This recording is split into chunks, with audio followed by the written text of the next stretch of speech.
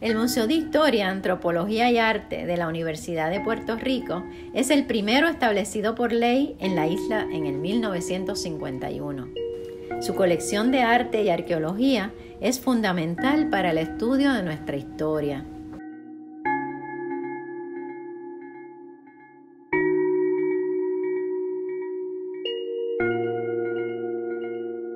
A lo largo de los años, el centro ha logrado recuperar una valiosa colección de las culturas arcaica, huecoide, saladoide y ostiones. Gracias a un esfuerzo colaborativo, se ha destinado un nuevo espacio físico para el centro.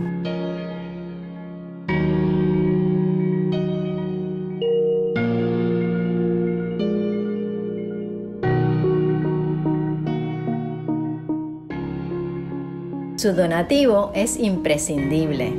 Dona hoy.